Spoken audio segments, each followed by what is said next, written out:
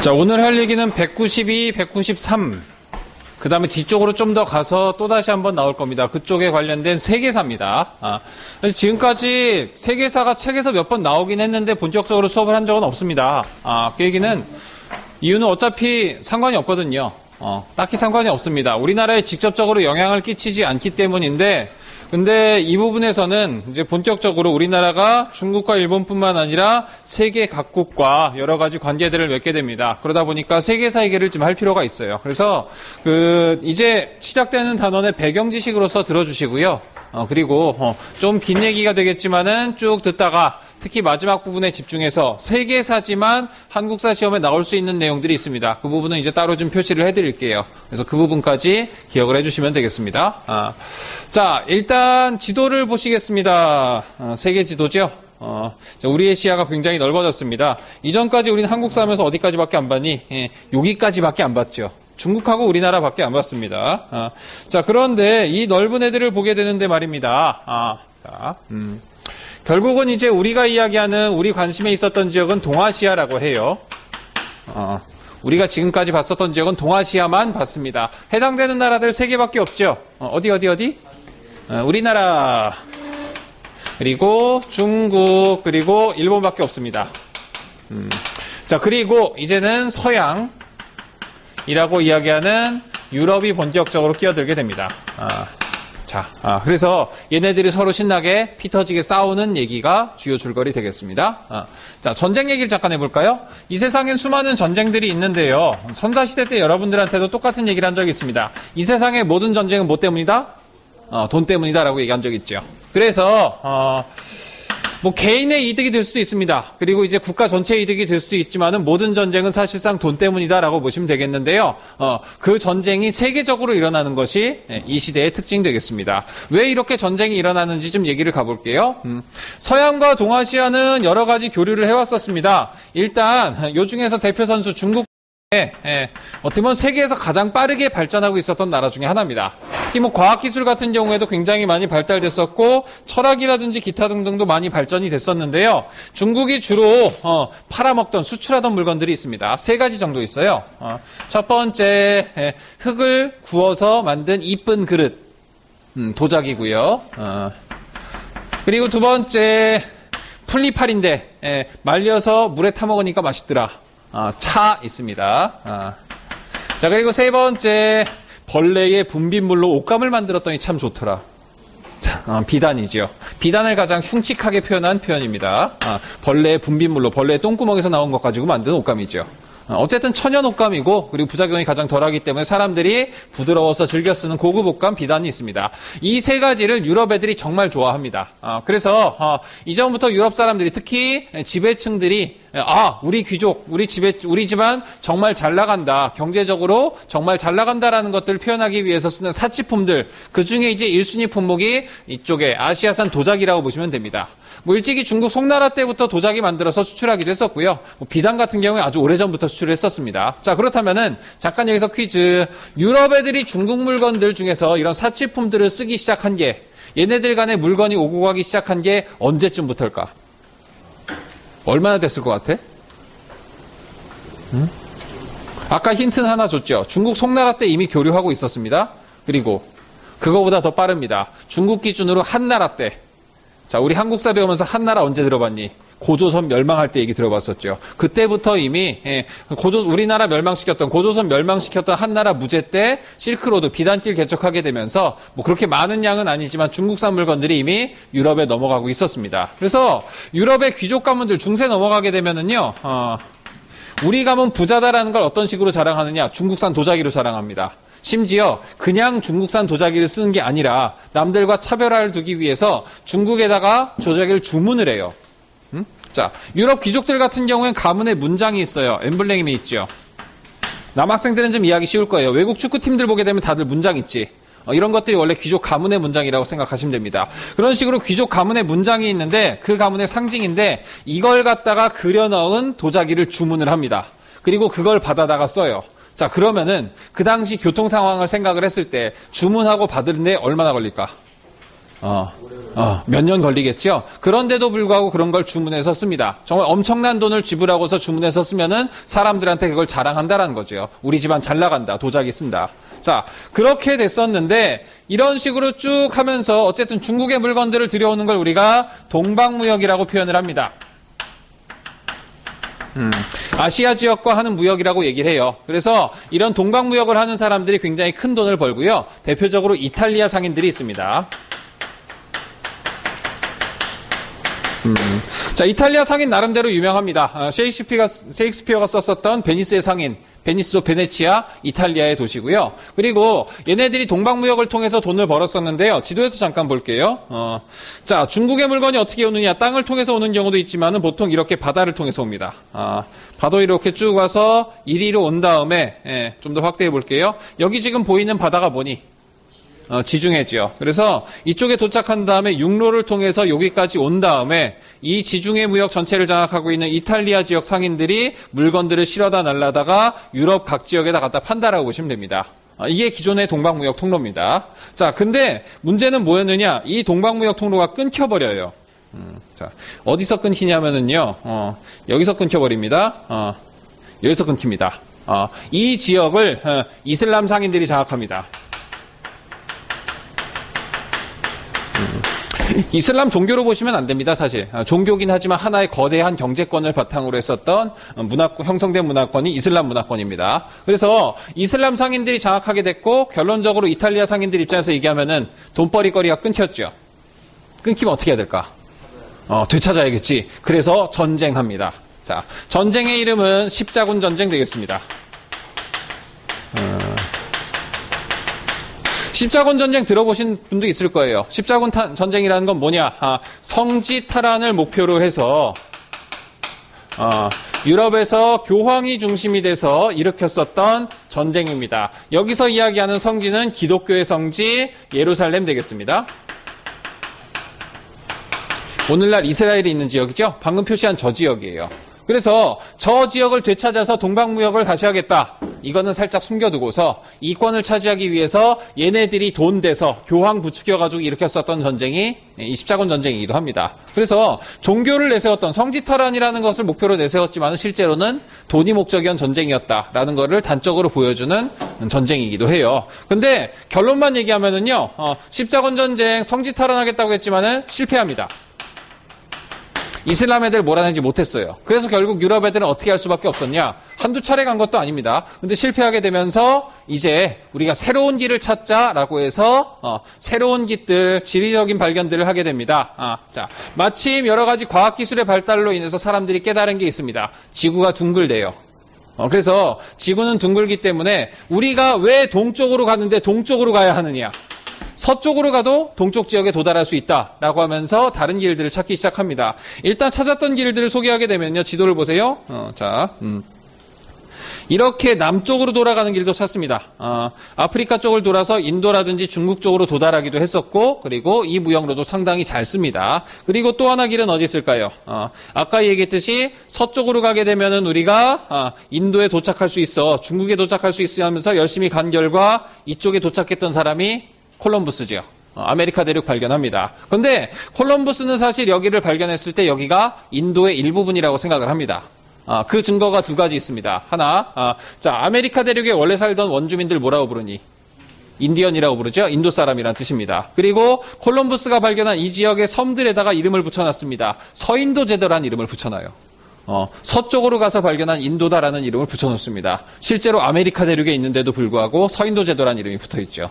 이런 식으로 어쨌든 간에 얘들이 착각을 하긴 했지만은 그 이후에도 꾸준한 항해를 통해서 어, 남아메리카 대륙 이렇게 돌아서 태평양 횡단해 가지고 결국 아시아 지역까지 도달하는 데 성공합니다. 그래서 초창기의 탐험가들 뭐 콜럼부스라든지 마젤란 같은 사람들 얘기는 들어보셨죠 여러분들이. 그래서 이 사람들이 이제 예, 어떻게 보면 문명의 손길이 다르지 않은 새로운 곳들을 발견하게 되고 이 시대를 우리가 이제 예, 신학로 개척을 했었던 어, 탐험의 시대, 대항해 시대라고도 부르기도 합니다. 사람들이 머리에 칼 맞았다고 갑자기 바다로 나가지 않았다라는 거죠. 필요에 의해서 많은 사람들이 나갔고 그 중에 누군가가 신대륙을 발견을 하게 된 겁니다. 자 그리고 신대륙 발견하면서 사람들이 깨닫습니다. 아, 우리가 굉장히 뛰어난 애들이구나. 어? 유럽 애들이 스스로의 무기라든지 과학기술이 굉장히 발전돼 있음을 깨닫습니다. 왜? 아메리카 지역에 가봤더니, 그리고 아프리카 남부 지역에 가봤더니 애들이 그냥 한 장 걸치고서 열심히 이제 칼 들고 창 들고, 그리고 잘해봤자 화살 정도 쏘고 있어요. 하지만 이미 유럽 애들은 총 쏘고 있죠. 그래서 이런 압도적인 것을 바탕으로 해서 어, 그 신대륙을 열심히 약탈하기 시작합니다. 이쪽에 뛰어들었던 1세대 애들이 예, 스페인이라든지 예, 포르투갈입니다. 어, 그래서 아까 이야기했었던 두 사람, 콜럼부스라든지 마젤란 같은 사람들, 어, 스페인, 포르투갈 사람이거나 이쪽 국가의 지원을 받아서 탐험을 나섰던 사람들이기도 해요. 그래서 가장 먼저 대외 개척에 뛰어들었고, 전 세계 항로 개척에 뛰어들었고, 그걸 바탕으로 신대륙에서 가지고 온 어마어마한 원, 원료들을 바탕으로 해서 급격하게 유럽의 강국으로 떠올랐던 나라가 스페인과 포르투갈 되겠습니다. 아. 자, 그리고, 어, 아시아 지역 같은 경우에는 근데 좀 다르죠. 아메리카라든지 아니면 아프리카 남부같이 신대륙 같은 경우엔 뭐 문명이랄 것, 국가랄 것도 별로 없기 때문에 그냥 들고 가서 털어오면 되긴 합니다. 그러나 아시아 지역 같은 경우엔 이미 국가라는 공동체가 있고 걔네들 상대로 전쟁도 해야 되죠. 그래서 처음엔 얘들이 전쟁을 하는 것이 아니라 그냥 무역만 하기도 합니다. 자, 이때가 언제쯤이게? 사실 여러분들이 알 수 있는 여러 가지 실마리들 배웠습니다. 자, 이 중에 포르투갈 상인은 일본에 왔습니다. 일본에 온 다음에 일본에다가 총을 팔았어요. 그리고 일본 애들은 그 총 사서 뭐 했을까?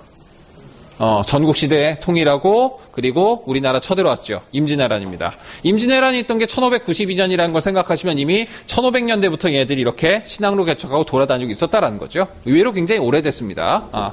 자, 그래서 어, 이 다음에 또 다른 강국들이 떠오르기 시작합니다. 영국과 프랑스입니다. 그러면서 세계 각국이 자기 나라의 경제를 발전시키기 위해서 본격적으로 어, 제국주의라고 불리는 시스템을 갖추기 시작합니다. 아.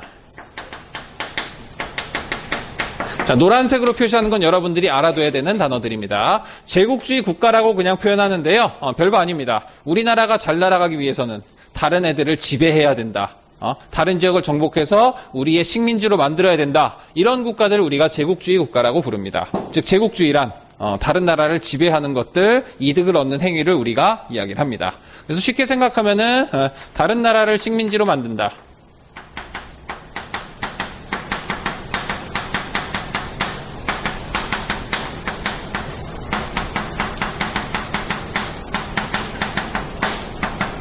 어, 이런 국가들을 우리가 제국주의 국가라고 부릅니다.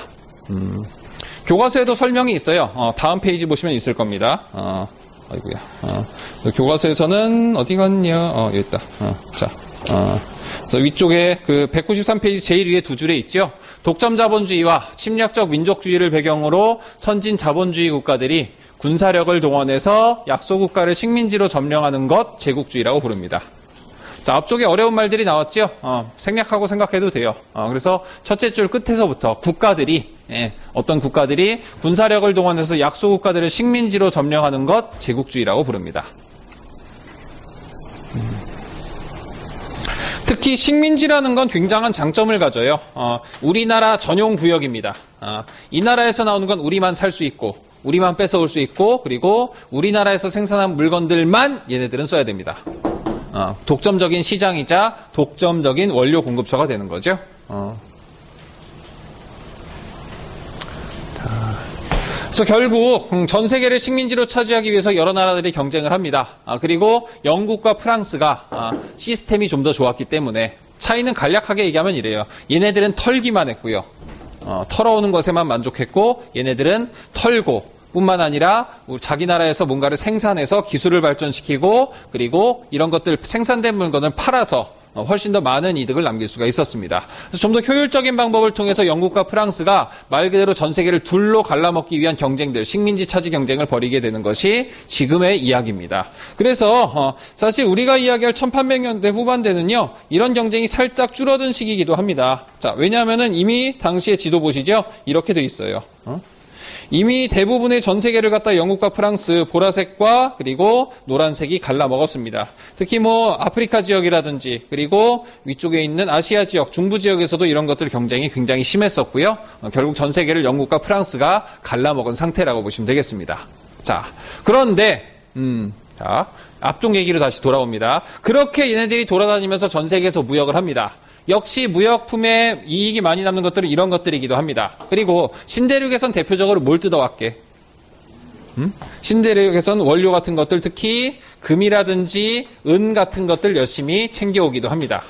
자, 그러면서 이 당시의 주요 자원의 흐름도 이렇게 됩니다. 영국과 프랑스 애들, 스페인과 포르투갈도 마찬가지입니다. 아메리카 대륙이라든지 아프리카 대륙 남부에서 금과 은을 신나게 털어댑니다. 그럼 그 금과 은을 가지고 어디로 갈까? 이 금과 은이 자기 나라로 가지 않습니다. 자기 나라로 가는 것도 있지만 이걸 갖다가 어디에? 예, 중국에 갖다 줍니다. 그리고 중국에 갖다 주고서 중국에서 도자기, 차, 비단 같은 것들을 사가지고 어, 자기 나라로 싣고 갑니다. 아니 식민지 만든다며 군사 세대며 하지만 걔네들이 전 세계를 그렇게 나눠먹는 상황에서도 정말 함부로 할 수 없었던 마지막 나라가 아, 중국이라고 보시면 됩니다. 뭐 일찍부터 강했죠. 인구도 많습니다. 땅덩어리도 큽니다. 그러다 보니까 아무리 영국과 프랑스가 자기들이 강해졌다 하더라도 함부로 할 수 없었던 나라가 중국이고 그래서 그 나라 중국에서 생산되는 이런 물건들은 정당한 대가를 지불하고 살 수밖에 없었다라는 거죠. 뭘 갖다 줬다? 주로 은을 많이 갖다 줍니다. 음. 자, 기억나세요? 1학기 때, 아니, 경제사 할 때 나왔던 얘기죠. 어? 우리나라 무역품들 얘기하면서 잠깐 나왔었습니다. 이 시기는 어떤 시기? 전 세계의 은이 중국으로 집중되고 있는 시기입니다. 음. 자, 근데 아무리 생각해도 아깝지요. 어? 신세, 신대륙에서 신나게 긁어왔는데 그걸 통째로 중국한테 갖다 준다는 게 아깝습니다. 그래서 어, 영국은 뭔가 쉽게 생산할 수 있는 물건이 없을까? 하지만 비싸게 팔 수 있는 것들 고려하다가 마약을 생각해냅니다. 아편입니다. 음, 자, 아편을 생각해냅니다. 아편은 밭에서 재배합니다. 아, 그리고 이제 거기서 긁어내면 아름다운 마약이 나옵니다. 아, 피우는 거기도 해요. 그래서 어, 이 아편을 에, 싼 값에 인도에서 대량 생산한 다음에 중국에 갖다 팔기 시작합니다.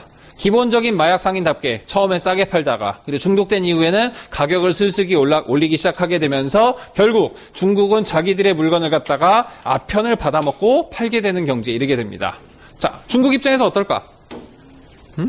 마음에 안 들겠지? 어, 우리나라 국민들을 병들게 하고 있습니다. 사실 이전의 무역도 어떻게 이루어졌었냐면요. 어, 중국은 자기들이 완전히 갑입니다. 어? 팔기 싫으면 안 판다는 거예요. 그러면서 니네 무역하고 싶어? 그래 특별히 하게 해줄게. 단 음, 여기서만 해. 지도로 그려볼까요? 어, 여기서만 하게 허락해줬습니다.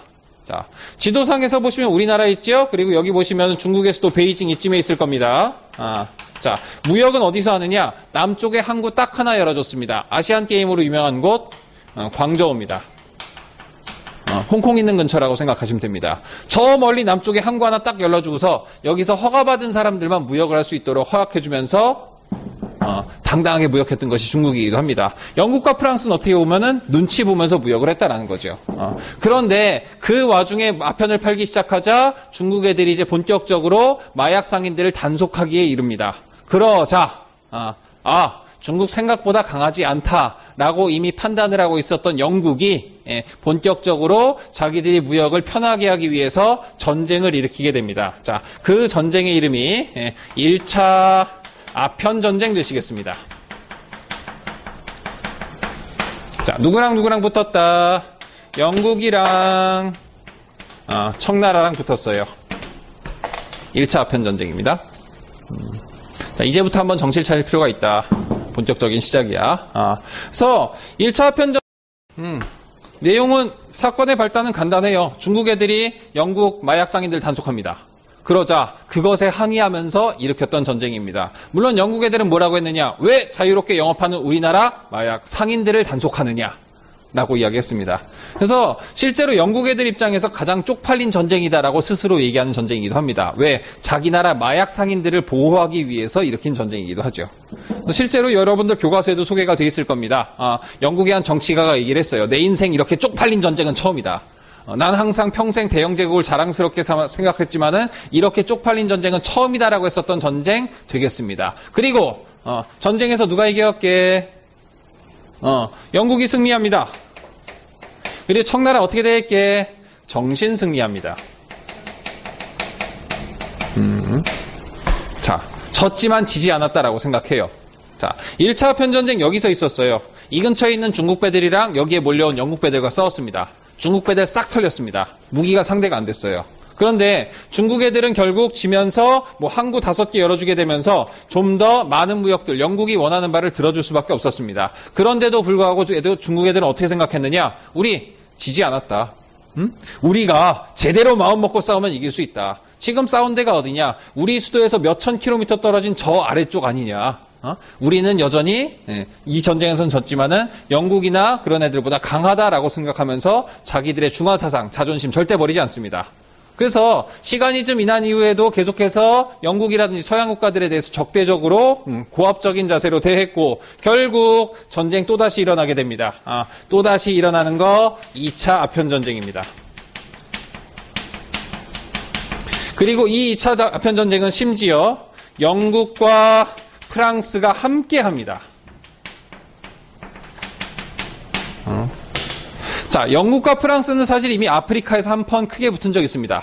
사실 동남아시아에서도 한 판 크게 붙었습니다. 서로 식민지 차지하는 경쟁으로서 넘버 원, 투를 다투면서 계속해서 서로 대립하던 사이인데 그 둘이 함께 싸웠어요.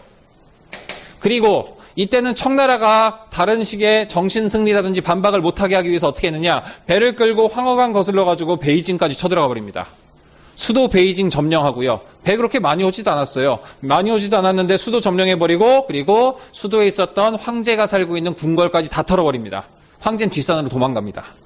아, 자, 이 싸움 정말 완벽한 영국과 프랑스의 승리로 끝났는데요. 자, 아, 그래서 이 전쟁이 끝난 이후에 영국과 프랑스 그리고 청나라 사이에서 조약이 하나 체결됩니다. 아, 시간을 잠깐 표시해드리면은요, 아, 얘가 1840년에 있었던 일이고 얘는 1856년부터 1860년까지 있었던 일입니다. 아, 자, 그래서 전쟁 정리하면서 1860년에 조약이 체결됩니다. 아, 전쟁했으면은 싸웠으면은 자, 이제 니네 이쯤에서 전쟁 끝내라고 조약 맺어야겠죠? 어, 그렇게 맺은 조약 베이징 조약입니다. 음. 이 베이징 조약이 정신 차려 들어야 된다. 우리나라에 미친 영향이 두 가지 있습니다. 자, 어, 두 가지를 소개할게요. 음. 자, 일단 첫 번째, 네, 중국 중심의 세계관이 붕괴합니다.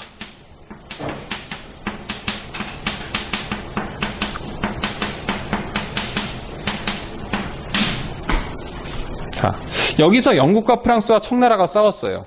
하지만 사실 이거는 또 다른 전쟁이기도 합니다. 영국과 프랑스, 서양과 유럽의 대표 선수, 그리고 청나라, 동양, 아시아의 대표 선수입니다. 그리고 싸웠는데 아시아가 졌죠. 어? 자, 그때까지 1860년까지 우리나라에 외국 상선들이 가끔 오긴 합니다. 근데 걔네들이 크게 행패를 부린 적은 없었어요. 왜? 우리나라에 적대적인 행위를 한다는 건 무슨 의미다? 중국의 적대적인 행위를 한다는 것과 마찬가지고 중국의 심기를 거슬리는 일입니다. 어떻게 보면 우리나라는 중국의 보호 속에서 외세의 침략이 없었다라고 보시면 됩니다. 그 전까지는. 그러나 이제는 어떻게 된 거니? 졌지요. 외국 애들이 이제 본격적으로 우리나라로 몰려오기 시작할 겁니다. 불과 6년 뒤에 우리나라에 프랑스 애들이 와서 열심히 두들겨 팹니다. 자, 그리고 이 얘기는 결국 뭐냐? 우선 우리는 그 전까지 중국이 있기 때문에 우리는 어, 우리 세계 최강국의 보호를 받고 있다. 안심하고 살고 있었어요. 하지만 더 이상 뭐가 아니다. 중국이 세계 최강이 아닌 게 증명, 증명이 된 거죠. 우리도 이제 각자 살아나갈 길을 찾아야 되는 상황이 된 겁니다. 이게 첫 번째고요. 그리고 두 번째, 이건 되게 뜬금없는 얘기입니다만은 어, 이 베이징 조약을 중재한 나라가 있습니다. 어, 영국, 프랑스하고도 싸워봤고 청나라하고도 싸워봤던 나라예요. 어디 이게? 러시아입니다. 어, 러시아가 어, 조약을 중재한 대가로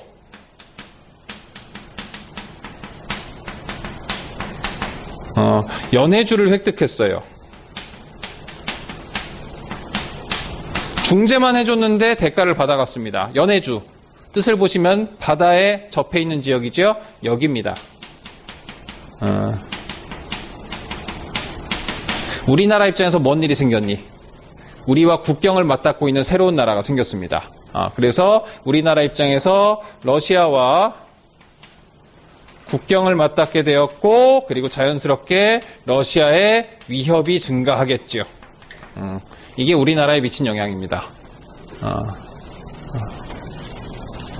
그래서 이 베이징 조약이 미친 영향은 여러분들이 예, 우리나라에 미친 영향도 굉장히 크기 때문에 예, 한국사와 직접적으로 관련이 있는 얘기들이기도 합니다. 이제 좀 더 추가적으로 얘기를 하면은요, 중국 애들 어, 이때는 정신 승리했지만 2차는 완전히 졌죠. 그래서 정신 좀 차려요. 그래서 안 되겠다. 우리가 서양보다 과학기술이 딸린다라는 걸 인정을 하고 서양의 과학기술을 본격적으로 받아들이는 여러 가지 개혁 운동을 시작하기도 합니다. 그 개혁 운동의 이름은 양무 운동이라고 해요. 음. 자, 그리고 일본 애들도 있습니다. 일본 애들은 이미 미국과 교류를 시작한 바가 있습니다. 아, 왜? 예, 이거 아편 전쟁 시작된 사이에 끝나기 전에 1858년에 미국 애들한테 한번 제대로 털린 다음에 예, 교역을 시작을 합니다. 그래서 어, 일본은 미리 개항을 했었는데요. 얘도 마찬가지로 메이지 유신이라는 이름으로 서양의 문물을 받아들이는 개혁을 시작을 합니다. 어, 양무운동보다 훨씬 더 과격한 개혁입니다. 다음 시간에 추가로 나올 겁니다. 그래서 어, 각각 청나라의 양무운동, 일본의 메이지 유신이 되겠지만은 어, 우리나라도 서양 문물을 받아들이겠죠 조만간에. 예, 그때 사람들이 이야기합니다. 아 청나라처럼 양무운동을 본받아서 우리도 서양 문물을 받아들이자 라고 주장하는 사람들이 있고요. 아니다. 일본의 메이지 유신을 모델로 우리가 발전해야 된다. 라는 사람들도 등장을 합니다. 그래서 다른 나라 얘기지만 우리나라 한국사 시험 문제도 등장할 수 있는 얘기들 그래서 빨간색 네모친 부분이라고 생각하시면 돼요. 어, 요 네모는 지우자. 어, 1차 아편 전쟁은 모르셔도 되지만은 여러분들이 예, 2차 아편 전쟁 베이징 조약까지는 내용을 분명히 알아두셔야 될 필요가 있습니다. 어, 그래서 이런 배경 속에서 어, 우리나라는 언제쯤이었을까? 자, 1860년 조선은 어떤 상태? 음? 어, 임술농민 봉기 기억나시죠? 어, 세도 정치 막판에 들고 일어난 거. 어, 그것도 1862년의 일입니다. 즉 세도 정치 막판. 음, 조만간에 고종이 즉위하고 흥선대원군이 섭정을 시작하겠죠. 어, 그 상태에서 이제 우리나라 이야기는 시작이 될 겁니다. 그래서 여기서부터 다루는 거 대략 한 1860년대 초반부터 이야기를 다루는 게 여러분들 교과서 4단원이라고 보시면 되겠고요. 그래서 이 부분 세계사 얘기입니다. 그렇기 때문에 지금 당장 줄칠 거는 음, 시험에 나올 만한 거는 일단 어, 음, 여러분들이 기본적으로 알아야 되는, 알아야 되는 내용 제국주의 얘기 예, 개념 꼭 기억해 두시고요. 음, 자본주의와 민족주의는 나중에 시간 날 때 추가로 좀 설명을 하겠습니다. 나머지 얘기들 좀 시간 나면 읽어보시고요. 어, 아래 굵은 글씨 보시면 공행무역이라는 얘기 나오죠. 어, 어, 중국이 예, 무역을 했었던 방식입니다. 어, 서양 애들이 물건을 사가려면 이 공행이라는 걸 통해서만 무역을 사, 예, 무역을 할 수 있었고요. 음. 일본 일본도 항구 하나 열어줬어요. 일본은 나가사키 열어줍니다. 여러분들 나가사키 하면 아는 거는 짬뽕밖에 없죠. 어, 이제 좀 더 안다면 이제 예, 원자폭탄 맞은 곳 그렇게 기억하실 텐데요. 어, 일본은 개항장이 나가사키였어요. 외국 상인들이 나가사키에만 놔둘 수 있었습니다. 그래서 이제 나가사키에 나중에 청나라 상인들도 많이 왔고요. 청나라 유학생들도 많이 옵니다. 그 가난한 청나라 유학생들한테 고향의 맛을 느끼, 느끼게 해주기 위해서 개발된 것이 나가사키 짬뽕이라는 설이 있습니다. 발음에 주의해야겠죠.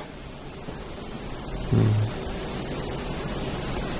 자, 그리고 이제 흥선대원군의 통치체제 재정비와 관련된 얘기는 다음 시간에 계속되도록 하겠습니다. 자, 수고하셨습니다.